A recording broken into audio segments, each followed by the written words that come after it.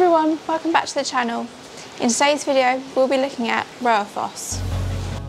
If you've recently noticed your tank is having a bloom of nuisance algae, or maybe your corals aren't looking all that great, it might be a sign that you have high phosphates in your tank.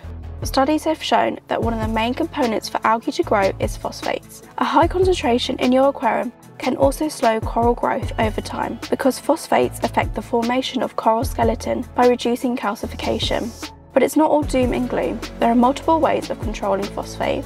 For example, overfeeding can be one of the causes of high levels of phosphate, so cutting back can be one solution. Other possibilities are using a protein skimmer, a refugium with macroalgae, liquid removers, or a filter media like a GFO. A filter media that we particularly recommend is ROWAphos. This GFO is a man-made ferric hydroxide chemically engineered to remove phosphates, arsenic, silicate and heavy metals. ROWAphos is a fantastic filter media for getting rid of various types of nuisance algae. Because it has one of the largest absorption abilities, the binding capacity of ROWAphos is approximately 25 grams of phosphate per kilogram of media.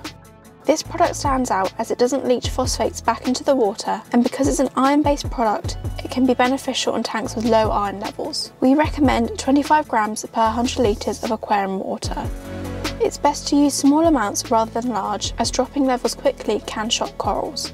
Make sure to continue testing your water parameters to see if the levels are decreasing or rising and change the resin when the phosphate levels begin to increase again.